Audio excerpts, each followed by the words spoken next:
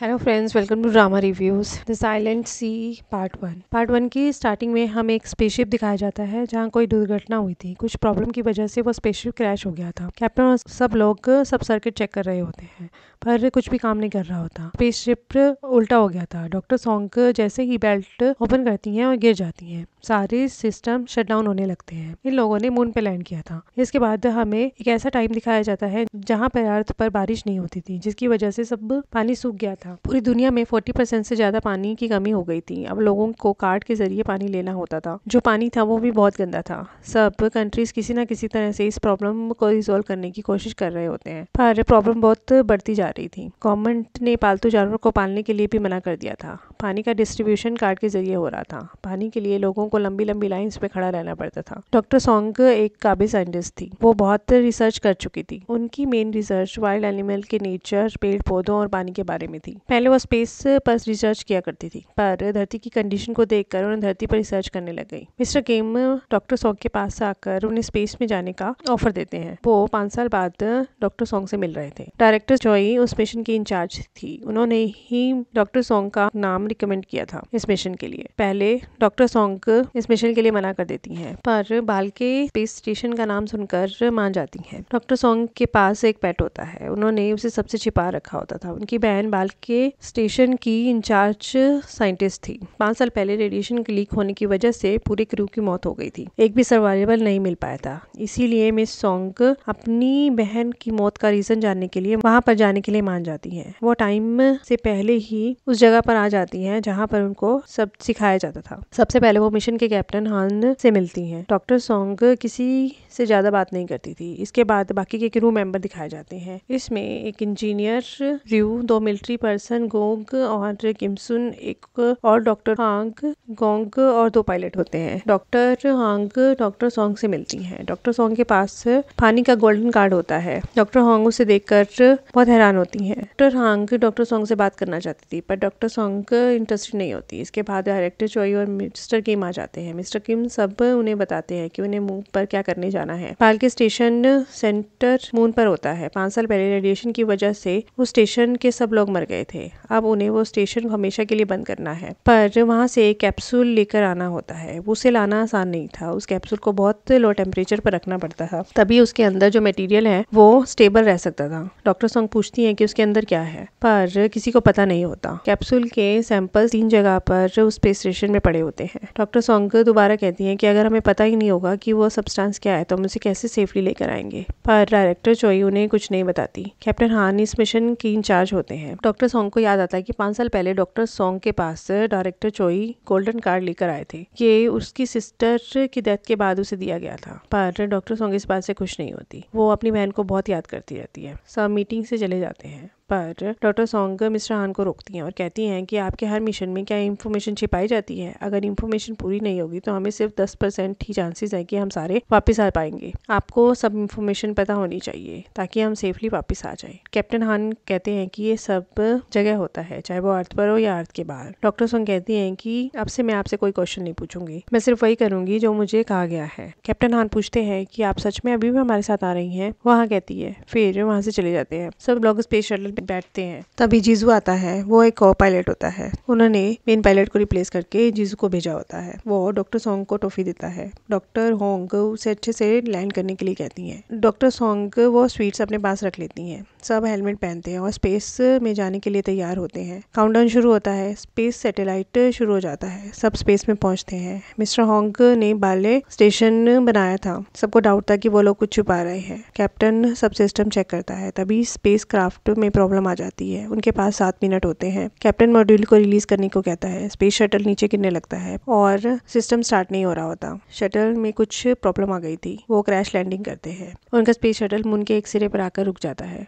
सब बाहर जाने के लिए तैयार होते हैं, पर डोर ओपन नहीं होता। जैसे ही वो ओपन करते हैं शटल डिसबैलेंस हो जाता है। सब लटक जाते हैं। एक हैवी चीज़ बाहर शीशे पर लगती है। शीशा टूट जाता है। सब गिरने लगते हैं। डॉक्टर सॉन्ग बाहर की तरफ़ लटक जाती हैं, पर कैप्टन उसे बचा लेते हैं। सब बाहर आ जाते हैं। उसके बाद शटर नीचे गिर जाता है। अब सबको साढ़े सात किलोमीटर पैदल चलना होता है। मिस्टर वांग भी उनके साथ होते हैं, पर उन्हें बहुत चोटें आई होती हैं। सब पैदल चलना शुरू करते हैं। सबके पास ऑक्सीजन की कमी होने लगती है। वो लोग स्टेशन तक पहुँच जाते हैं। पर मिस्टर वांग की तबीयत खराब हो जाती है। ऑक्सीजन की कमी होने लगती है। मिस्टर वांग की डेथ वहीं पर हो जाती है। सब उनके पास आते हैं और फिर अपनी जर्नी शुरू करते हैं और स्टेशन में पहुँचते हैं। वो लोग जल्दी से जल्दी अंदर जाना चाहते थे ताकि ऑक्सीजन को फुल कर सके। पर जब वो मेन डोर पर आते हैं तो वो ओपन नहीं होता। उन्हें लगता है कि वो सब यहीं पर मर जाएँगे। पर थर्ड अटेम्प्ट में गेट ओपन हो जाता है। सब अंदर जाते हैं। डॉक्टर सोंग को याद आता है पाँच साल पहले उसकी बहन का उसके पास मैसेज आया था। वो पासवर्ड डालती है। तो उसका मैसेज पर लिखा होता है कि उसको लूना को ढूंढना है। पासवर्ड की डालने से पहले वो अपनी बहन को याद करती है। उसकी बहन मून के गट्टों को साइलेंट सी कहती थी। सब लोग अंदर जाकर अपना ऑक्सीजन टैंक फिल करते हैं। उसके बाद पावर ऑन करते हैं ग्रेविटी को सही करने के लिए। सब स्टेशन के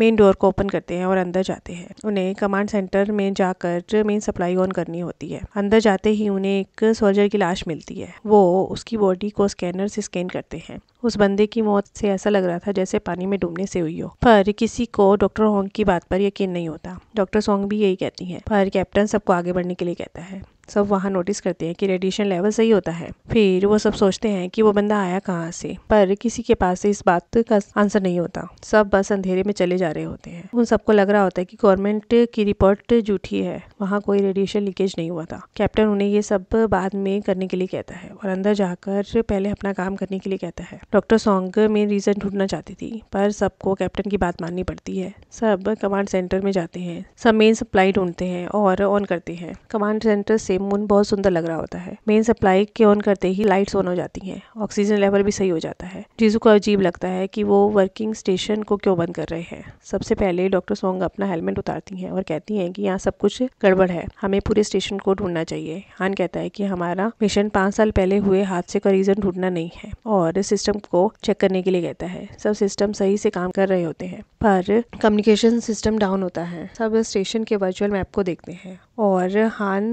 टीम बनाता है उस कैप्सूल को लाने के लिए। पर डॉक्टर संग यहाँ लूना को ढूँढने आई थी। मिस्टर वांग ने सबको अर्थ पर ही एक वर्चुअल मैप दिखाकर स्टेशन समझा दिया था। डॉक्टर सोंग ने भी पूरा मैप मेमोराइज कर लिया था और लूना को ढूँढने के लिए मिशन पर काम कर रही थी। कैप्टन हान सबको टीम बनाकर तीनों स्टोरेज पर भेजता है। एक टीम में वो खुद डॉक्टर होंग और रीटू होते हैं। दूसरे में सुन, सोचन रियू और इवन होते हैं। तीसरे में गोंग और जीजू और डॉक्टर सोंग होते हैं। डॉक्टर सोंग सोंग सबको बताती हैं कि अगर सैंपल पर ग्रीन लाइट जल रही हो तो वो ठीक होगा, नहीं तो वो खराब हो गया होगा। और सैंपल को बहुत लो टेम्परेचर पर रखना होता है। डॉक्टर सोंग जाने से पहले सोचन से पूछती है कि बायोमेट्रिक चिप सब लोगों को दी जाती है जो स्पेस में आए होते हैं। तो ये चिप से उन पाँच साल पहले लोगों को भी ढूंढ सकते हैं। वो हाँ कहता है, पर कहता है कि एक्सीडेंट की वजह से शायद वो टूट गई होगी। फिर सब कैप्सूल लेने चले जाते हैं। जाते वक्त जीजू डॉक्टर सोंग को कैप्टन हान के बारे में बता रहा होता है, पर डॉक्टर सोंग इस बात पे इंटरेस्टेड नहीं होती। डॉक्टर हॉन स्टोरेज तक पहुँच जाते हैं, पर गेट ओपन नहीं होता। दोनों बहुत ज़ोर लगाते हैं। तभी गेट ओपन हो जाता है।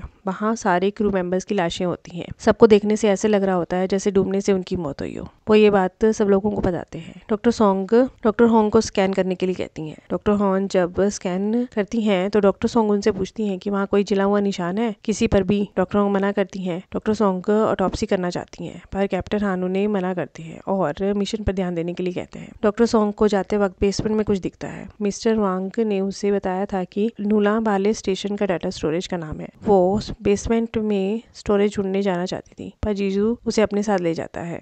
दूसरी टीम जब स्टेशन टू की तरफ़ पहुँचती है तो वहाँ भी कुछ नहीं होता। स्टेशन वन और स्टेशन टू दोनों खाली होते हैं और दोनों रेड होते हैं। सब कैप्सूल टूटे हुए होते हैं और खाली होते हैं। स्टोरेज टू में भी एक डेड बॉडी होती है। सोचन जब डेड बॉडी के हाथ में देखता है तो उसे एक कैप्सूल दिखता है। वो उस कैप्सूल को उठाता है, वो भी खाली होता है, पर डेड बॉडी की वजह से उसकी आँख में कुछ चला जाता है। इधर जीजू सबसे झूठ बोलता है कि डिटेक्टर ने कोई मूवमेंट रिकॉर्ड की है। गोंग उसे देखने जाता है और डिटेक्टर को चेक करता है और दोनों को वहाँ रुकने के लिए कहता है। जीजू डॉक्टर सोंग को भी बेसमेंट को चेक करने के लिए कह देता है और वो वहाँ से चली जाती है। जीजू अकेले स्टोरेज थ्री में आता है और किसी को मैसेज करता है। जीजू को वहाँ कुछ नहीं मिलता। वहाँ भी कोई कैप्सूल सही होता। कैप्टन हान भी स्टोरेज थ्री की तरफ़ निकलते हैं। मिस्टर केम ने डॉक्टर सॉन्ग को बताया था कि डाटा स्टोरेज का निशान ऊपर नहीं, नीचे है। असली डाटा स्टोरेज नीचे है बेसमेंट में। डॉक्टर सॉन्ग को डाटा स्टोरेज नहीं मिलता। जीजू को नीचे एक छिपा हुआ सैंपल मिल जाता है। तभी उस पर कोई हमला करता है। सुचन की तबीयत खराब होने लगती है। उसे दीवार पर एक स्टारफिश दिखाई देती है। Doctor song storage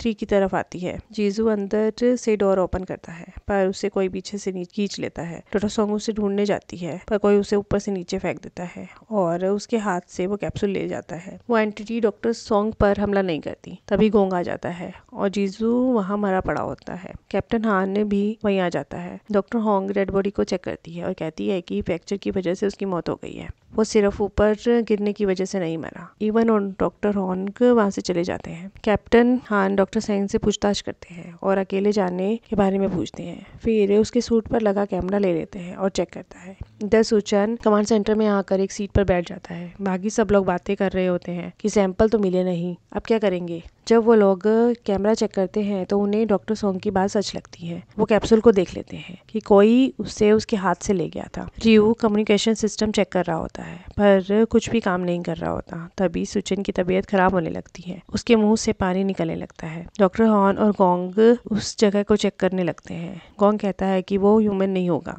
doctor song कहती है कि उसे कैप्सूल की वैल्यू पता है तो वो कोई इंसान ही होगा। तभी सुचन की खबर उस तक आ जाती है। वो लोग डर जाते हैं और डॉक्टर होंग को बुलाते हैं। डॉक्टर होंग उसे सूट पहनने और मास्क लगाने के लिए कहती हैं। डॉक्टर होंग आकर सुचन को चेक करती हैं और ब्लड सैंपल लेती हैं, पर वो उसे बजा नहीं पाती। डॉक्टर सोंग और कैप्टन हान भी तब तक वहाँ पर पहुँच जाते हैं। सुन में बहुत परेशान होता है। सूचन को ऐसा लगता है कि जैसे वो पानी में डूब रहा है और उसकी डेथ हो जाती है। सुन इस बात से बहुत उदास हो जाता है। बाकी सबको समझ नहीं आता कि ये सब क्या हुआ और ये किस तरह का वायरस है। होंग सुचन की टॉपसी करना चाहती हैं। हान सुन से इस बात की परमिशन लेता है। वो वजह को जानने के लिए परमिशन दे देता है। डॉक्टर सोंग और डॉक्टर होंग साथ में होते हैं। डॉक्टर सोंग डॉक्टर होंग को डाटा स्टोरेज के बारे में बता रही होती है। तभी कैप्टन हान वहाँ आकर ऑटोप्सी के लिए कहता है। डॉक्टर सोंग भी उससे पहले की डेड बॉडीज के सैंपल इकट्ठे करने की परमिशन मांगती है। कैप्टन हान कहता है कि आपको परमिशन की क्या ज़रूरत है? आप तो खुद ही काम कर रहे हो। अगर क्वेश्चन पूछेंगे नहीं तो आंसर कहाँ से मिलेगा? इधर कैप्टन बाकी सबको उसके साथ कैप्सूल को ढूँढने के लिए चलने को कहता है।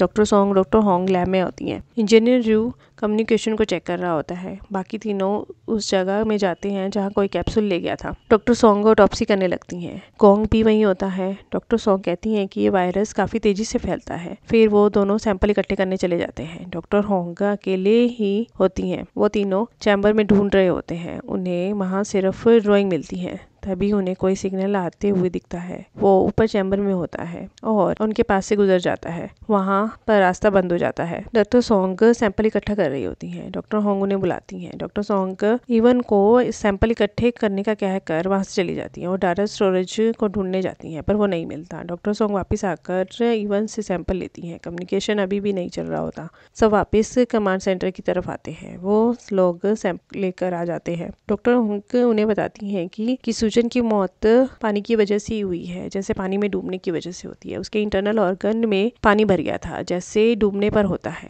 डॉक्टर सोंग कहती हैं कि बाकी बॉडीज में भी सेम सिम्टम्स थे। डॉक्टर उनको समझ नहीं आ रहा होता कि इतना पानी अंदर से कैसे आया, उसकी बॉडी में इतना पानी कहाँ से आया। डॉक्टर सोंग सब ब्लड सैंपल को चेक करती हैं, पर उसे कुछ नहीं मिलता। कोई वायरस कोई इन्फेक्शन नहीं होता। डॉक्टर सोंग उसे सूचन का ब्लड देती हैं, इधर कम्युनिकेशन को ठीक करने के लिए। किसी को बाहर जाकर चैनल चेंज करना होता है। और रियू को उसके बाद सिस्टम रिबूट करना होता है। कैप्टन हान बाहर जाने के लिए मान जाता है। कैप्टन हान डॉक्टर्स के पास आकर पूछते हैं कि कुछ मिला? और बताते हैं कि वो कम्युनिकेशन सही करने बाहर जा रहे हैं। कैप्टन हान वहाँ से जाने लगते हैं। डॉक्टर सोंग उन्हें रोकती हैं और कहती हैं कि उस सर्वाइवल ने उस पर अटैक नहीं किया, क्योंकि वो एक पर्टिकुलर डिस्टेंस पर थी। तो अगर आपको वो मिले तो डिस्टेंस बनाए रखिएगा। वो एक सर्वाइवल है, पर हान को उसकी बात पर यकीन नहीं होता कि कोई पाँच साल तक यहाँ पर कैसे रह सकता है। डॉक्टर सोंग कहती हैं अगर उसके पास राशन और वाटर होगा तो वो रह सकता है। कैप्टन हान कहते हैं कि उसने हम पर अटैक किया। अगर सर्वाइवल होता तो हमारा वेलकम करता। इसके बाद कैप्टन हान बाहर के लिए रेडी होते हैं और बाहर निकलते हैं। कैप्टन हान का यहाँ आने का अपना रीजन था। उनकी बेटी बहुत बीमार थी। उनके कार्ड पर जो फैसिलिटी उनकी बेटी को मिल रही थी वो पूरी नहीं पड़ रही थी। उन्हें हायर लेवल का कार्ड चाहिए होता है। जो भी यहाँ आएगा उसे हायर लेवल का कार्ड मिल जाएगा। इसलिए वो यहाँ पर थे। जब डॉक्टर सोंग सुचन के ब्लड को चेक करती हैं तो उन्हें उसमें वाटर दिखता है। जो वेट में सिंपल वाटर से हैवी था, वो बिल्कुल साफ़ पानी था, जिसमें किसी तरह का कीटाणु नहीं था। ये जल्दी वाटर से फ्रोज हो जाता है। कैप्टन हान नीचे देखते हैं, जहाँ उन्हें जाना होता है। वो रस्सी से लटर कर जाने लगते हैं। तभी जो लिफ्ट होती है, ऊपर आने लगती है और कोई भी उसे कंट्रोल नहीं कर पा रहा होता। वो बहुत स्पीड से आती है। कैप्टन मूव हो जाते हैं। वो लिफ्ट उनकी रस्सी को ले जाती है, पर कैप्टन बच जाते हैं। उन्होंने रस्सी छोड़ दी थी। तभी गोंग ऊपर से दूसरी रस्सी फेंकता है, पर लिफ्ट नीचे गिरने लगती है। कैप्टन हान भी नीचे गिरने लगते हैं, पर वो रस्सी का दूसरा सिरा कहीं और पर लटका देते हैं, इसलिए बच जाते हैं। वो बेहोश छोड़ने लगते हैं, तभी उन्हें अपनी बेटी की याद आती है कि उन्हें ये सब उसके लिए करना है। वो जागते हैं और पैनल शिफ्ट करते हैं, पर ऑक्सीजन बहुत कम हो जाती है, वो वहीं बेहोश हो जाते हैं। इधर डॉक्टर सॉन्ग इस बात का कारण जानने की कोशिश कर रही होती है कि इतना पानी कैसे आया सुचन की बॉडी में। डॉक्टर होंग कहती है कि उसके लंग में भी पानी भर गया था। डॉक्टर सॉन्ग कहती है कि पानी मल्टीप्लाई हो रहा था, पर जैसे ही सुचन की डेथ हुई, वो एक्टिविटी रुक गई।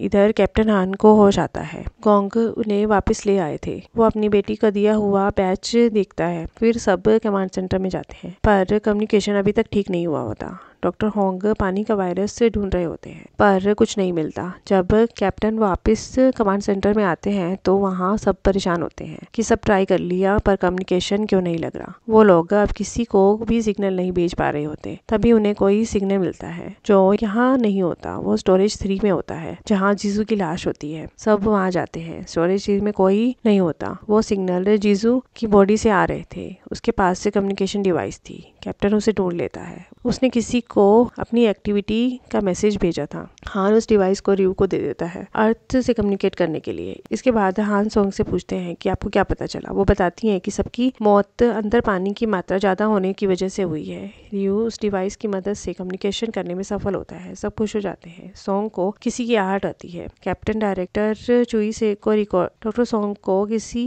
की आहट होती है। कैप्टन हान डायरेक्टर चोई को रिकॉर्ड देते हैं। वो सुनकर दुखी हो जाती है। फिर हान पूछता है कि आपने ही लास्ट मोमेंट पर जीज को भेजा था। डायरेक्टर जो ही कहती है कि ये सब हाई लेवल का डिसीज़न था। उन्होंने ही हो सकता है ये सब करने के लिए भेजा हो उसे। पर हान को उस पर शक होता है। फिर वो उसे उस इंटरव्यू को मारने के लिए और जल्दी से कैप्सूल वापस लाने के लिए कहती है। फिर हान ये सब करने के लिए लेवल वन की सिक्योरिटी का एक्सेस माँगता है। इसके बाद डॉक्टर सोंग एक जगह आती है, जहाँ उसे नीचे डाटा स्टोरेज का निशान मिल जाता है, पर वहाँ पर लेवल वन की सिक्योरिटी होती है। डॉक्टर होंग डॉक्टर सोंग को बुलाती है। बाकी सब लोग नए शिप के आने का वेट कर रहे होते हैं। फिर मिस्टर हॉन डायरेक्टर चोई को सर्वाइवल की बात बताता है, जिस पर उसे यकीन नहीं होता। कैप्टन हान उसे कहता है कि यहाँ कोई रेडिएशन लीक नहीं हुई थी, जिस पर वो हंसती है। कैप्टन हान उसे कहते हैं कि अगर आपने कुछ छिपाया तो मेरे लिए ये मिशन क्रू की लाइफ से ज़्यादा ज़रूरी नहीं होगा। वो भी यही कहती है कि वो कुछ नहीं छिपा रही। डॉक्टर सोंग उस वाटर की ड्रॉप पर अपना एक बूंद ब्लड डालती हैं। वो वाटर मल्टीप्लाई होने लगता है। डॉक्टर होंग डर जाते हैं। सब एक्सटिंग्विशर से उस पानी को जमा देते हैं। वो मल्टीप्लाई होना बंद हो जाता है। अब उन्हें सुचन और बाकी सबकी मौत का राज पता चल गया था। इधर बाकी सब उस इंट्रूडर को ढूँढने और सैंपल को इकट्ठा करने का प्लान बनाते हैं। तभी डॉक्टर सोंग आकर ये सब बताती है की वाटर की सैंपल है और ये सब कैप्टन को पता था। मिस्टर केम और जॉय उन्हें अर्थ पर ही लूनर वाटर के बारे में बता दिया था, जिससे डॉक्टर सॉन्ग की बैंग ने ढूंढा था। ये सब अब वो सबको बता देता है, पर डॉक्टर सोंग कहती है कि वो वाटर मल्टीप्लाई होता है और उसने ही सबकी जान ली है। डॉक्टर सोंग कहती है कि अगर हम इस मल्टीप्लीकेशन को कंट्रोल ना कर सके तो सब बेकार होगा। यही मेरी बहन चाहती थी। अब सबको पता चल जाता है कि डॉक्टर सॉन्ग अपनी बहन की वजह से वहाँ आई होती है। उसकी बहन ने ही उसे बताया था कि गलीलियो ने मून के गड्ढों को साइलेंट सी का नाम दिया था और डॉक्टर सोंग से प्रॉमिस किया था कि वो एक दिन वापस अर्थ पर पानी ले आएँगी। और उसने वो पानी ढूंढ लिया। सब वाटर के बारे में बात कर रहे होते हैं। कोई कहता है कि अगर ये पानी कंट्रोल आ गया तो हमें कभी बिना पानी के नहीं रहना होगा। सब नॉर्मल हो जाएगा। डॉक्टर सोंग कैप्टन हान से बात कर रही होती हैं। डॉक्टर सोंग और इन्फॉर्मेशन चाहती थी, पर कैप्टन हान कहता है कि मैं तब भी तुम्हें टीम में नहीं लेना चाहता था। तुम यहाँ क्या कर रही हो? वो कहती है कि मेरी बहन ने मुझे यहाँ बुलाया है। फिर उससे लेवल वन सिक्योरिटी का एक्सेस करने को कहती है। वो दोनों डाटा स्टोरेज को अनलॉक करने आते हैं। फिर दोनों अंदर जाते हैं। वहाँ बहुत सारा डाटा होता है और उन्हें ज़मीन पर एक पौधा दिखाई देता जब वो उस पाइप को खोलते हैं तो वहाँ पर बहुत सारे पौधे होते हैं। यहाँ पर पार्ट वन ओवर हो जाता है। Thank you thank you for watching